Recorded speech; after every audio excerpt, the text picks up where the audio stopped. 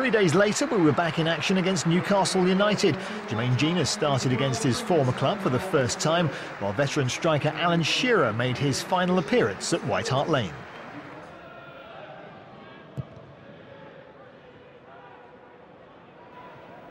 On by Mido. Can Tainio get there? He can, and he finds the net!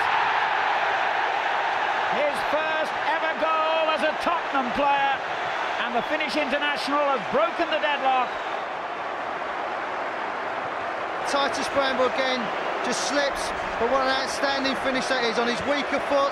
He concentrates, he keeps the eye on the ball, he goes across Shay Given. Titus Bramble should do better, but take nothing away from the finish.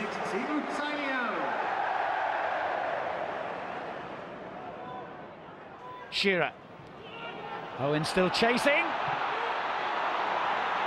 Got away with that there, Tottenham. Owens hurt himself. So close to an equaliser.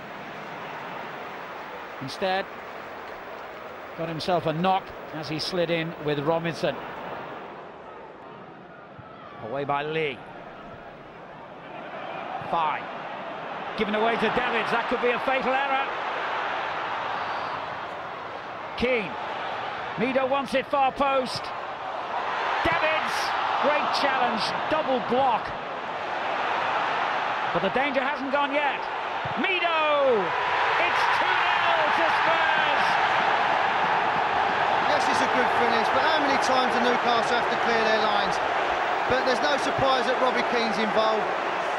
They do ever so well here. It's a great block here. The ball's there. They clear your lines. You haven't got to take the touch. Goes to Robbie Keane, puts in the great ball. Mido does the right thing. He hits it into the ground, and that's what does Shay Given. It just bounces up wickedly over Shay Given. He can't do a lot about this. If they had a glimmer of hope of getting back into this game, it has surely just disappeared.